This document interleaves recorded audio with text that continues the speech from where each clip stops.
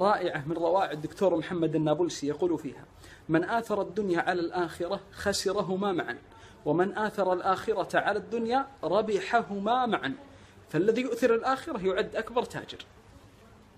لا تدعو الله على سبيل التجربة. نجرب يمكن نستفيد أو لا. من شروط استجابة الدعاء أن تدعو الله وأنت واثق من الإجابة. في سنن الترمذي يقول صلى الله عليه وسلم ادعوا الله وأنتم موقنون بالإجابة. مما يدفع العبد إلى أن يرضى بالمرض الذي ابتلاه الله جل وعلا به علمه أنها تكفر من ذنوبه وخطاياه. في حديث أبي هريرة يقول صلى الله عليه وسلم إن الله يبتلي عبده المؤمن بالسقم يعني المرض حتى يكفر عنه كل ذنب. يا أخي لا تبخل بمشاعرك الطيبة على من حولك. في حديث يحسن بعض العلم يقول صلى الله عليه وسلم إذا أحب أحدكم أخاه فليعلمه فإنه أبقى في الألفة وأثبت في المودة. يعرف قيمة العافية من أسهره المرض. زيارة المرضى تجعلك تدرك قيمة هذه النعمة التي عندك. صح من دعائه صلى الله عليه وسلم اللهم إني أسألك العافية في ديني ودنياي وأهلي ومالي. قد تدعو الله بأمر ترجو أن يحققه لك فيصرفه عنك لعلمه سبحانه بما هو خير لك.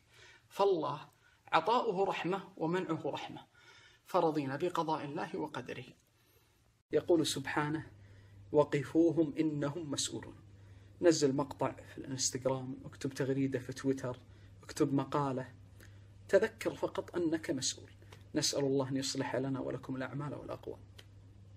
اقطع الطريق على من يريد أن يوغر صدرك على من تحب.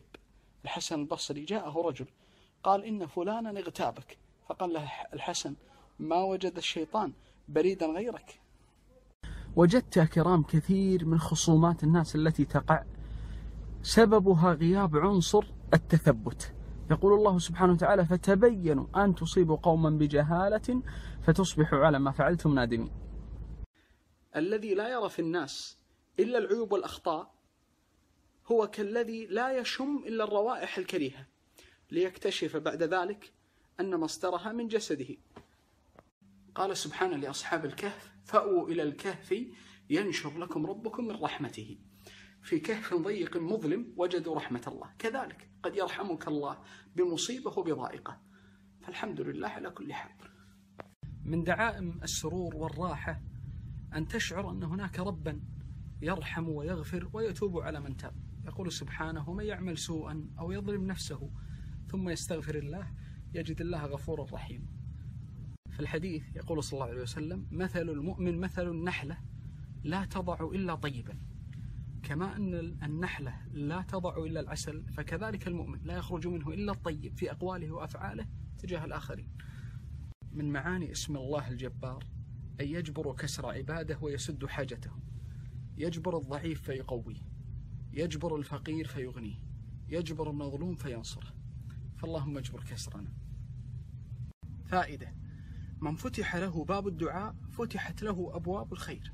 في حديث أنس يقول صلى الله عليه وسلم إن الله رحيم حيي كريم يستحي من العبد إذا رفع إليه يديه ألا يضع فيهما خيرا.